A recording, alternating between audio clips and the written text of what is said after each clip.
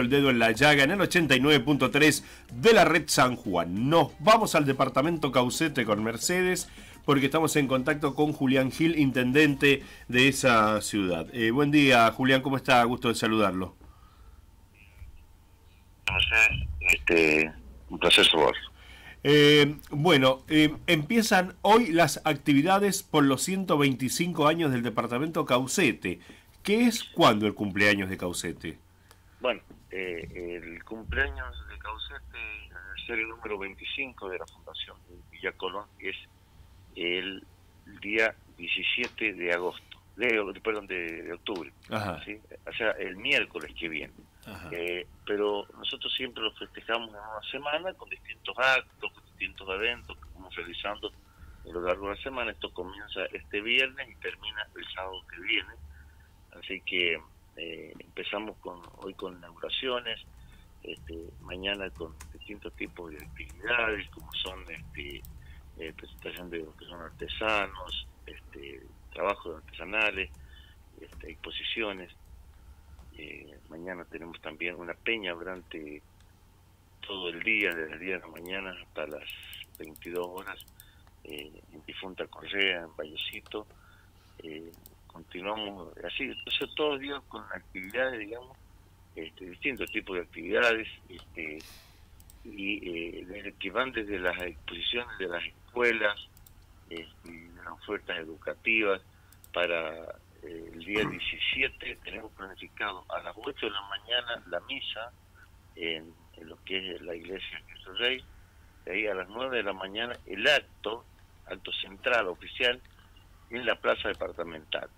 Eh, este año, eh, no, eh, como nosotros realizamos ya el desfile cívico-militar el 9 de julio, entonces no vamos a hacer el desfile para ahorrar gastos y sí vamos a hacer un acto oficial en la plaza, que vamos a contar con la participación de todas las escuelas, las, todas las instituciones del departamento. Eh, ¿Cómo crees que, va, que van a tomar los cauceteros el hecho de que eh, por primera vez para el aniversario del departamento no haya desfile? No, no, está, está, está, está, bien visto en la, medida que, se sabe que ya se realizó un acto y justamente que se que no se hace un desfile para para evitar para evitar gastos, ¿no? La situación para gastos tema es justamente ese, eh, la realización de desfile conlleva muchos movimientos de, de, todo tipo, entonces los gastos son, este, eh, los números se agrandan un poco, entonces... ¿Cuánto estimativamente le cuesta, le costaría al municipio eh, realizar un desfile? Un desfile está alrededor de los 300, 400 mil pesos. Sí, sí. Es mucha plata, ¿no? mucha plata.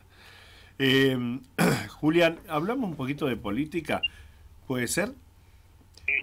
¿Cómo está el tema de la posibilidad de su eh, reelección?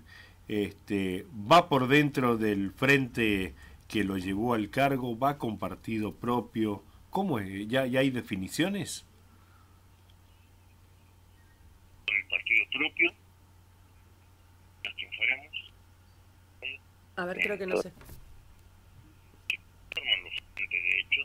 Entonces eh, hay diálogos, hay conversaciones, pero todavía no se conforma, entonces la idea es, este, estamos, nosotros estamos trabajando, por supuesto, este, de hecho estamos trabajando, pero vamos directamente, el momento estamos trabajando con el partido propio y, vamos a ver cómo se conforman los frentes y lo que más convenga al departamento, pues, ahí vamos a apuntar una vez que, se conforme los mismos.